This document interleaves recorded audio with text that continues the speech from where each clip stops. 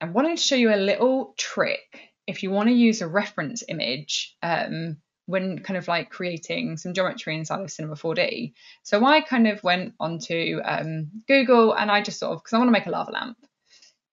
And I could, you know, you can make it by eye, but sometimes it's nice to use a reference image. So I literally just grabbed any reference image off of um, Google. And then I'm going to build this again in my front view. So I'm going to enlarge my front view.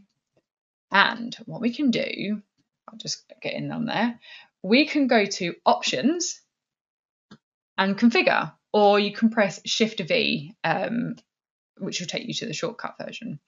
So if I hit configure, so by default, you'll come up and it will look like this. And inside here, we can, you know, change a whole bunch of things, a whole bunch of, you know, effects and, you know, our, our safe frames, which are like the grayed out area so you know where you're rendering.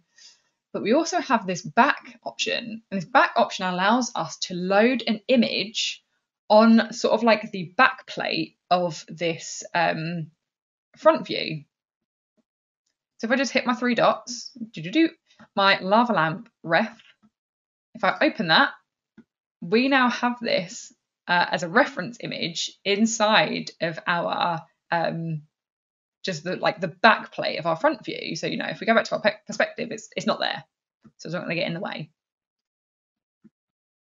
And then what we can do, I can adjust the size, and that's the reason I left the shelf um, visible is so I can kind of decide what a suitable size would be.